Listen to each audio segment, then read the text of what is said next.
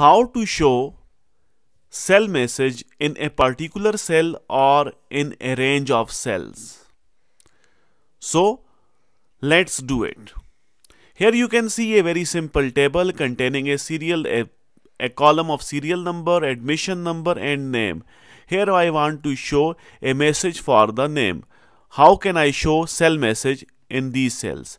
First of all, I will select the cell range. I will select all the cells where I want to show the cell message. Then I will tap data. After that, you will tap data validation.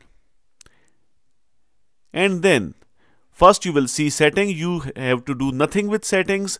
You will select the, you will select the or click the input message. Here you will uh, have type. Let's say I type note in the title and then I will type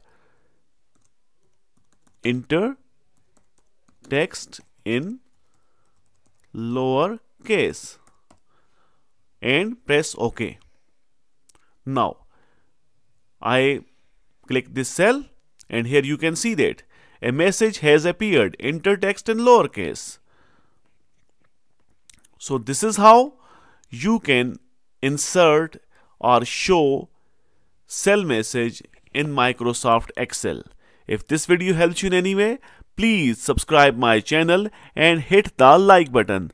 Thanks for watching. Thanks for your time. Goodbye.